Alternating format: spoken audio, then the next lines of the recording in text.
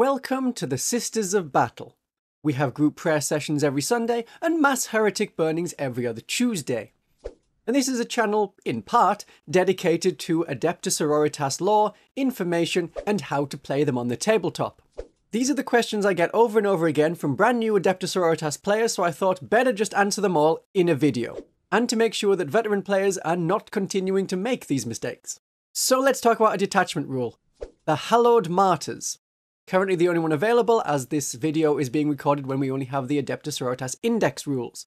There will be a codex with more detachments available. So the detachment rule of the Hallowed Martyrs is called the Blood of Martyrs. Each time an Adepta Sororitas model in your army makes an attack, you add one to the hit roll if the unit is below starting strength, and you also get to add one to the wound roll if the unit is below half strength. So this has a weird effect on vehicles. A single model with less than starting wounds is considered below starting strength. So if an immolator lost one wound, it's below starting strength. If it lost six wounds, so it only has five left, it is now below half strength. But now we need to introduce the annoying reality of math. So a unit of two penitent engines will never be below half strength. If one is killed, then the unit is below starting strength, but even if the remaining penitent engine loses any wounds, it is not going below half strength. One is half of two, it is at half strength, and the Blood of Martyrs detachment rule only gives you plus one to wound when you are below half strength. And so there are different rules for a unit that starts with one model compared to a unit that starts with more than one. So this is why we don't have two penitent engines together in this detachment. Morvenn Vahl and three Paragon Warsuits is another one you need to consider. A character added to a unit is considered to be a full strength starting unit at the beginning of the game. So this is a unit with a starting strength of 4 for the 4 models. When one suit is lost, yes, the unit is below starting strength. When two suits are lost, the unit is at half strength, not below it. Because we added Vahl, this unit has a starting strength of 4, 2 is not less than half of 4, so Vahl and the one remaining suit are not below half strength. When the third suit dies, the unit is confusingly still not below half strength. This is because when the last suit dies, Vahl becomes her own unit by herself and now counts as having a starting strength of 1. So she doesn't need to take Battle Shock for being below half strength either. So that means that three suits and Morvenn Vahl can never get the plus one to wound from the Hallowed Martyrs detachment bonus. Let's switch from advanced mathematics where we count some beans to English literacy. And I know that you can play this game with rules written in German or French But that can lead to was bedeuten das? moments, and I'm told that when that happens, players switch to the English version to try and figure out what is meant to be going on. Some fun language errors are in this video. New players often don't realize who can join which unit. We're not like the Space Marines where Terminator characters obviously join Terminator units, unless you're a confusing Space Wolf. Sister characters on foot in power armor can't just join any other Sisters unit on foot in power armor. So a new player will get excited at the idea of a Canoness joining a Retributor squad, and then you get full rerolls to hit, and if you're coming out of an Immolator, full rerolls to wound as well. But they can't. And it sucks that they can't, but they can't. If you check the back of the index card, or the leader tab of the character on the app, you can see which units they can join. So for the Canoness, you can see no Retributors. It is also a mistake to see that Imagifiers and Hospitallers can join a unit even if there is a Canoness or Junith or a Palatine already attached to the squad. A new players get super excited at having Sacrosancts with minus 1 to hit because of Junith, minus 1 to wound because of the Sacrosanct unit ability, and a 5 plus feel no pain from the Hospitaller. But you can't. Look harder. The Hospitaller can only double up on the regular Battle Sister squad. Only that bodyguard unit, no others. Making these sorts of mistakes is basically a rite of passage to becoming an Adepta Sororitas player in 10th edition. And this may all change when the Codex comes around. Space Marines and the Tyranids got very little changes when their Codex came out, but it seems like the Necrons were completely redone. At time of recording, we have no idea what's going to happen to us. But there are other common mistakes new players make regarding character abilities, and it often comes down to very careful reading. Okay, the Palatine. How does their Rapturous Blows ability work? The Palatine is a very powerful combat character, but I've seen sister players calculate absurd numbers of mortal wounds coming from her. When you select the Palatine and her bodyguard unit to fight in the fight phase, you can discard a miracle dice. This is different to spending a miracle dice when you perform an act of faith, and this discarding a miracle dice does not stop you from performing an act of faith with the Palatine or her unit. It doesn't matter what number is on the miracle dice that you discard, discarding a 6 is not better than discarding a 1, so please discard a 1.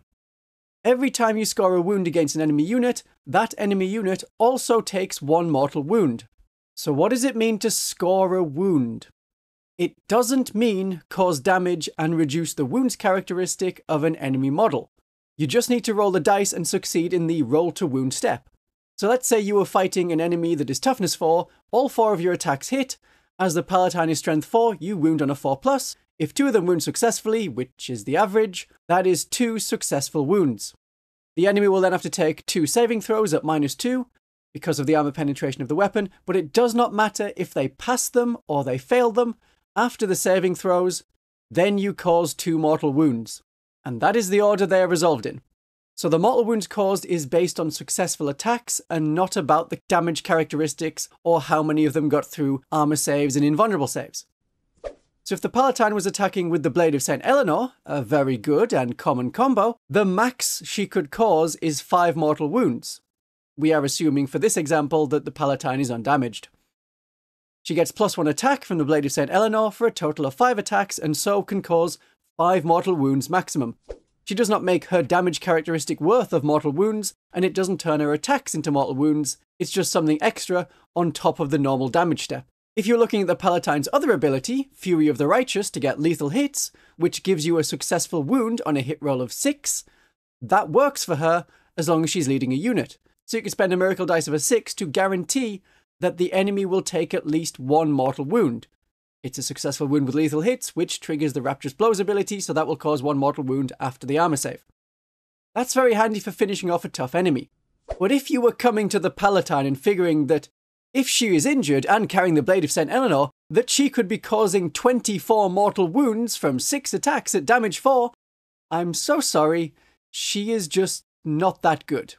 Most often, mistakes with unit rules come from something else. It comes down to some of the abilities affecting models and other abilities working for all models in the unit. So the Canoness has an ability, the Emperor's Grace. Once per battle, she can get a 2 plus invulnerable save. But this 2 plus invulnerable save does not affect her bodyguard unit. It is just her model. Just her. So when is that going to be useful, you ask? When the whole unit is about to die? Yes. If every single bodyguard model, and probably the Canoness is going to die, that's when you would activate it to keep her alive against the massive amount of firepower coming your way. Or you use it when you're facing an enemy that has precision attacks, like a Lictor. You declare the invulnerable save ability at the start of the phase. Now, with precision, the Lictor could just choose to fight normally and attack the bodyguard of sisters, but that is okay. The Canoness is more likely to be able to kill the Lictor in return, and just activating your ability stops you being attacked at all. I'd say that's a win. Just be aware that because you have to declare at the start of the phase, if your opponent has a command point and a character, and you don't activate the Emperor's Grace, they could use Epic Challenge for when their character attacks, and it would then be too late for you to declare your 2 plus invulnerable save. Other units have similar kind of rules where it just affects the model, not the unit, like the Missionary and the Preacher. New players see that the Preacher can be attached to Arcoflagellants and think, wow, okay, once per game, every model in the squad gets 2 extra strength and 2 extra attacks. That's amazing, I can take down a Chaos Knight with that. But looking much, much closer, you can see that it is only this model not the unit. These mistakes don't happen because you're bad at comprehension, but because they are counterintuitive.